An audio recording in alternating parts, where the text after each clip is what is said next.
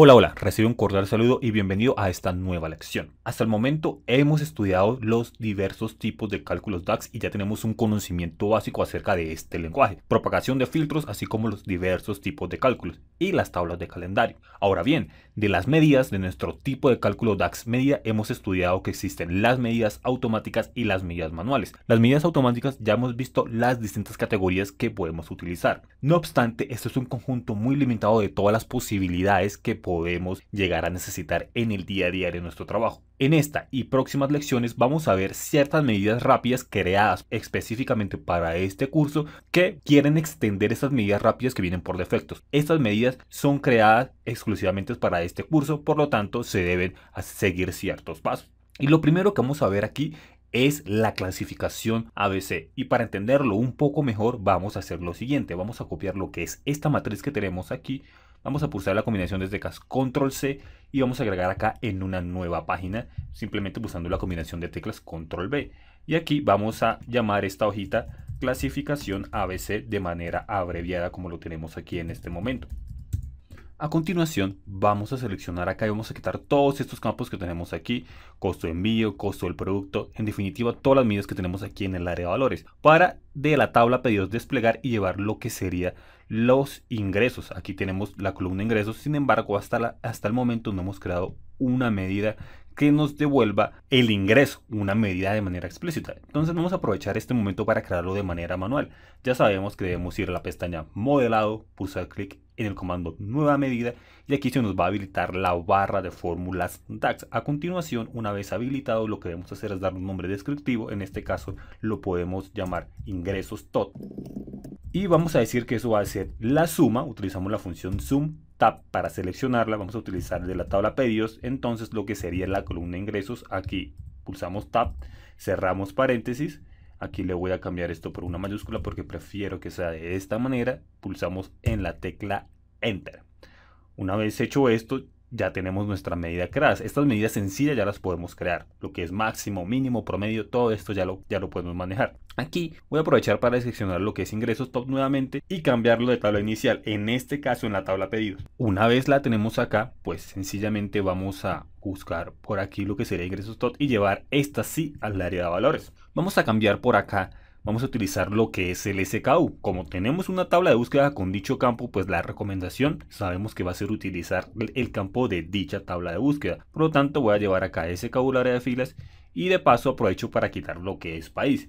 Y aquí he creado pues simplemente una matriz que en la cual me está indicando los ingresos totales para cada uno de los SKU. Muy bien, lo que estamos haciendo aquí es crear una matriz en primer lugar para después convertirla en un gráfico. Esta es la metodología que nosotros recomendamos y eso se va a profundizar un poco más en un módulo posterior.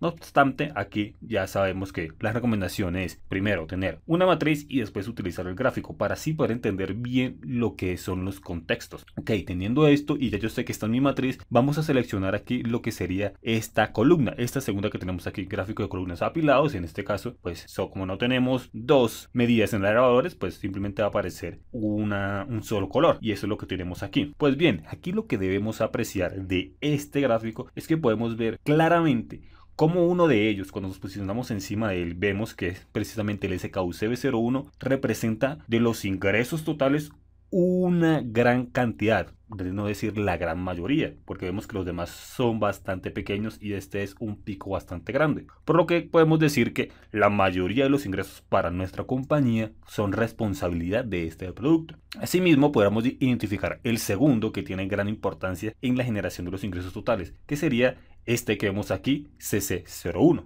Bien, mientras que vemos que hay muchos que tienen un ingreso bastante pequeñito. ¿Ok?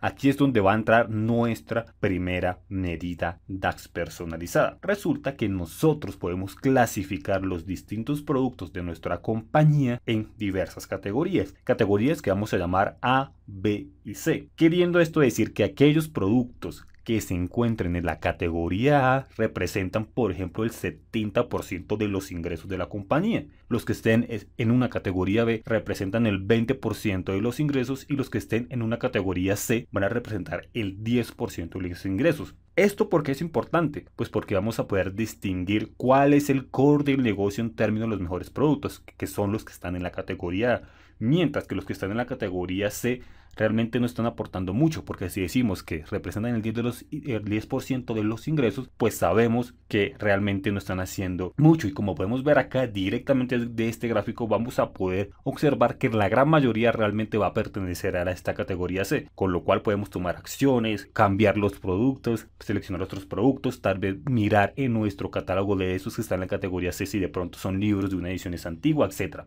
Tomar acciones.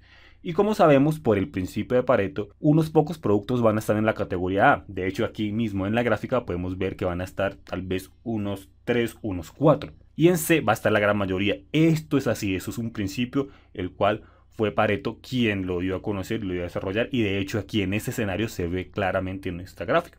Ahora bien, ¿Cómo voy a construir yo esta categoría ABC y distinguir cuáles son esos 2, 3 productos, 4 productos que me representan el 70% de los ingresos? ¿Cómo voy a yo construir la categoría B que me representan el 20% de los ingresos y qué productos están allí? Y asimismo con la categoría C. ¿Ok? Es precisamente aquí cuando vamos a utilizar nuestra receta DAX personalizada, nuestra medida DAX personalizada. Y para ello debemos ir a la carpeta que está asociada a este módulo. Como sabemos, estamos en la fase número 2, en el módulo 7, y en este módulo 7, al cual aquí en la carpeta se llama modelamiento de datos y lenguaje DAX, vamos a encontrar dentro de ella una carpeta adicional que dice medidas rápidas personalizadas, abreviado aquí entre paréntesis de esta manera. Y aquí, una vez en esa carpeta, recordemos en el módulo 7 está la carpeta medidas rápidas personalizadas, vamos a llegar aquí donde estamos precisamente y vamos a encontrar lo que es clasificación ABC, inteligencia de tiempo, pronóstico y dinamización con, tal, con tablas de parámetros. Ok, pues siendo esto de esta manera, aquí lo único que vamos a hacer es ir aquí a clasificación ABC y en este momento nos vamos a encontrar con un archivito. Vamos a pulsar dos veces clic para abrirlo y en este momento va a aparecer lo que es esta hojita de Excel. Aquí hay una serie de instrucciones para seguir lo que es la construcción de este escenario ABC. La idea es crear una medida rápida. La idea no es profundizar en el lenguaje DAX, sino simplemente utilizar esta receta rápidamente. Y aquí aprovecho para volver lo que es a Power BI y en este caso ir a lo que es la parte de relaciones y ver lo siguiente. Aquí, como podemos ver nuestro modelo de datos, tenemos una tabla de búsqueda que me que contiene los productos una única vez. Y asimismo tenemos una tabla transaccional, que es la tabla pedidos que contiene las distintas ventas. Para crear el, la clasificación ABC con esta medida rápida personalizada, es obligatorio tener una tabla de búsqueda con los distintos productos una única vez como es la tabla de SKU productos y tener una tabla transaccional pues donde se hayan registrado a lo largo del tiempo los distintos ingresos o costos o utilidades lo que necesitemos. Podemos ir aquí para observar rápidamente y refrescar nuestra memoria cómo está constituida la, tabla de búsqueda SKU productos. Para observar que sencillamente, como podemos ver aquí, es una columnita que me tiene el ID de producto, en este caso denominado SKU y los nombres de productos. Aquí pues una única vez y listo. Y la tabla de pedidos pues sabemos que es una tabla un poco más extensa de gran densidad de datos. Esos son los dos requisitos que necesitamos para poder crear la medida rápida. Ahora, teniendo estos dos requisitos en mente, es necesario conocer, bueno, donde están mis productos, mi tabla de búsqueda, ¿cómo se llama mi tabla? En este caso yo sé que se llama SKU Productos. Bien, aquí la vemos, SKU Productos. Y mi tabla transaccional, pues yo también debo conocer cómo se llama mi tabla. En este caso se llama pedido, tabla pedidos. Debemos conocer esas dos cositas y además pues tener en cuenta el nombre de la columna por la cual queremos hacer la clasificación ABC. En este caso que estamos analizando por los ingresos. Entonces, en este caso, yo puedo observar aquí que mi columna se llama precisamente ingresos. Ok, ya sabiendo esto, SKU productos, mi tabla de búsqueda, pedidos, tabla transaccional, ingresos, por donde quiero la clasificación ABC, volvemos al archivito de Excel y aquí vamos a encontrar estas cajitas de texto. Me dice tabla de productos, que es precisamente la que sabemos que es donde están los valores únicos de mis productos. Entonces yo sé que se llama SKU productos. Y le vamos a digitar aquí el nombre así tal cual, SKU productos. Tiene que estar perfectamente digitado que coincida exactamente como se llama ya bien, SKU productos. Ahora, la del campo de categoría ABC es precisamente el campo. En este caso sabemos que se llama ingreso. Lo digitamos comprobando que esté bien escrito respecto a como lo tenemos en el modelo de datos. Y finalmente la tabla transaccional. En la tabla transaccional, en este caso sabemos que corresponde a la tabla pedidos. Listo, ese es el caso que tenemos. Para nuestra una situación particular en el trabajo, pues simplemente vamos a poner los nombres de las tablas y el campo asociado. Listo, una vez hecho esto, lo único que debemos hacer es pulsar a clic aquí en este botoncito de aceptar. Pulsamos clic allí, esperamos un par de segunditos y a continuación nos vamos a desplazar acá a la parte de abajo.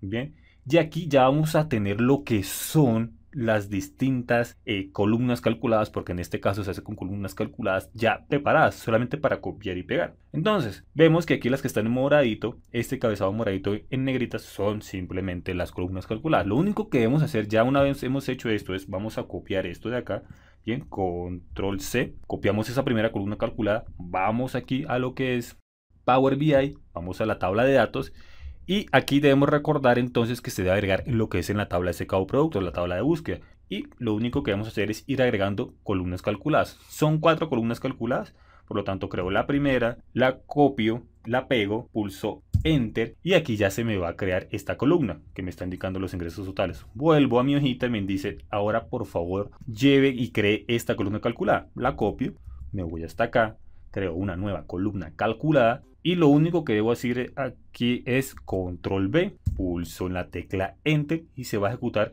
esta segunda columna calculada. Hasta aquí vamos bien, regresamos nuevamente y por acá vamos a desplazarnos un poco, ya vemos que nos faltan solamente dos porcentaje de incremento, que es esta que estamos aquí, nos aseguramos de copiarla correctamente, volvemos a Power BI, creamos una nueva columna, esperamos a que se habilite la barra de fórmulas DAX, control B, enter y se empieza a crear lo que es esta nueva columna. Voy a pulsar enter nuevamente por acá, enter para que se procese ahora sí de manera correcta. Ya tenemos esa medida, esa columna calculada. Vamos por acá y ya nos falta la última que es la categoría ABC. Control C y aquí vamos a pulsar en nueva columna y ya con esta última ya tenemos creada todo lo demás.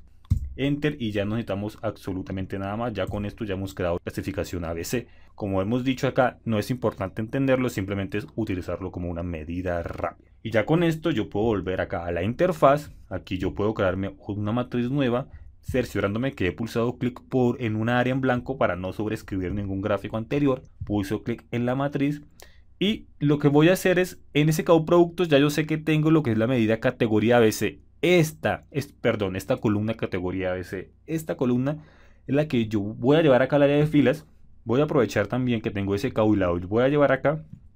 Y antes de mirar voy aquí a general acá en la parte de diseño y voy a hacer esto un poquito más grande. ¿Para qué? Para poder observar acá rápidamente de manera inmediata como ya sabemos que los que están en la categoría A, en este caso representan el 70% de los ingresos. Es CB01 y C01. No más. Solo esos dos productos representan el 70% de los ingresos. En B vemos que tenemos unos 3 y en C tenemos una gran cantidad. Una gran cantidad que solamente representan el 10% de mis productos. Ya con esto conozco las distintas categorías. Ya con esto sé cuántos son y sé quiénes son los que están allí. Y con esto ya yo puedo tomar acciones conociendo a mi compañía.